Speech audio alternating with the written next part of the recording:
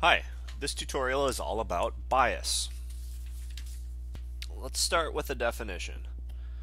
Bias is the tendency for collected data to differ from what is expected in a systematic way.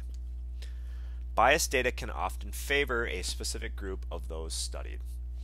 Anytime you are conducting a statistical study, either an experiment or an observational study, you want to avoid introducing any bias into your study. So whenever you can eliminate bias, um, that's good because bias is bad. While most studies are conducted with integrity and diligence, sometimes bias can be introduced uh, into a study in unintentional ways. Uh, studies can be carried out and evaluated better if different types of bias can be recognized. So we're going to go through a couple different types of bias. I'll give you the definition and then I'll give you an example of each. So the first one we're going to look at is what's called selection bias. Selection bias occurs when some groups in the population are left out of the sampling of the process of choosing the sample. Selection bias yields an unrepresentative sample. So let's take a look at an example where selection bias has occurred. A telephone only survey is used to determine the views of the city's population on public policy. So what we want to think about is is there any way in the way that this sample or that this uh, study was conducted where a group was systematically left out of the of the possible sample space and and then yes people without phones will be unable to be selected from the survey since it was a telephone only survey. Um, and then specifically many homeless individuals may not own phones. Since these members of the population would provide a unique view towards public policy and are unable to be selected, selection bias would occur. Okay, so since people without phones and specifically the homeless people, since they do have they their responses would affect the response, we do have some bias that is introduced here. So if you were running this study, you may try to think of some other way other than using the telephone um, to, to conduct your survey. The next type of bias is what we call participation bias. Uh, participation bias is a type of selection bias where one group of the population is unwilling or uninterested in participating in the study. When participation bias has occurred, there is an unrepresentative sample.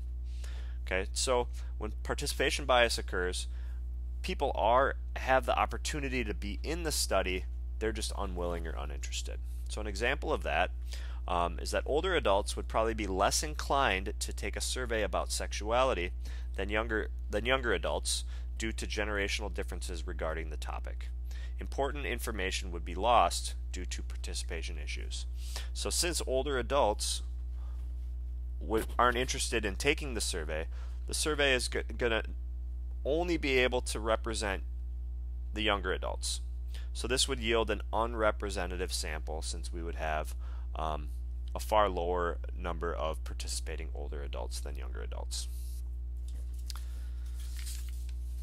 Okay, another type of bias is what we call publication bias. Publication bias is a type of bias that occurs when researchers only publish positive results. So public publication bias tends to overstate the effects of explanatory variables.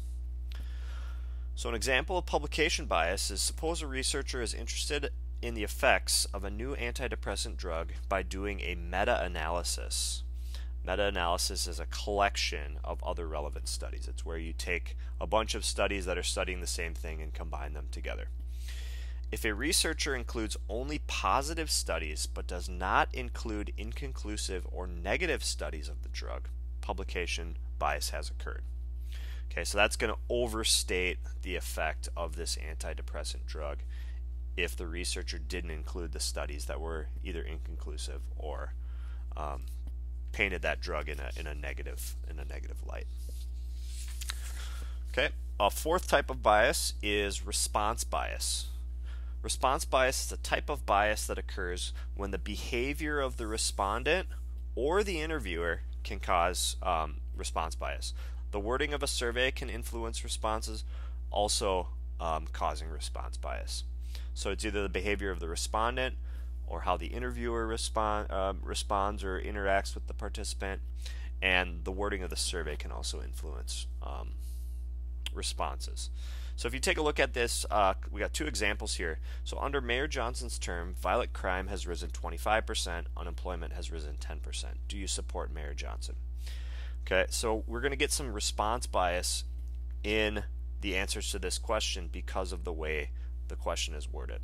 So there's a two pretty negative violent crime and unemployment are pretty pretty negative societal issues. So that may influence the responder um, into kind of more no's. So more no's to support Mayor Johnson than yeses. Um, so there, here's an example of when um, the wording of the question can cause response bias. Um, the second question, have you committed a felony in the past three months? This question is worded appropriately, but it's now going to be the behavior of the respondent that is going to introduce response bias here. Um, the, the, the participant, you know, may not be interested in in owning up to this felony or admitting to a felony on paper. So even though they may have committed a felony, they're not going to admit to it. So in this case, you're going to have a disproportionate amount of people that say no when really they, they probably should say yes. Um, so the, in this case, the behavior of the respondent would yield an unrepresentative number of no's.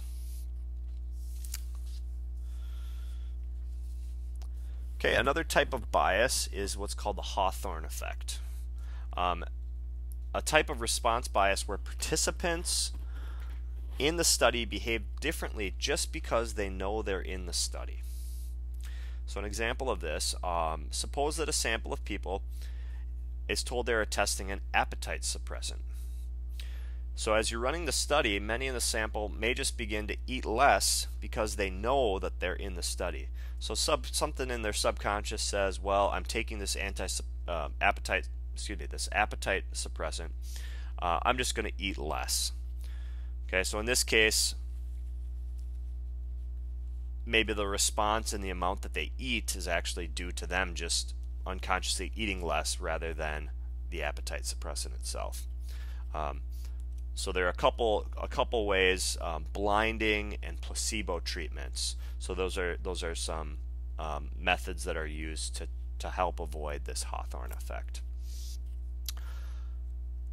So the main the main types of bias we have looked at um, in this tutorial are selection bias, participation bias, publication bias, response bias, and then the Hawthorne effect.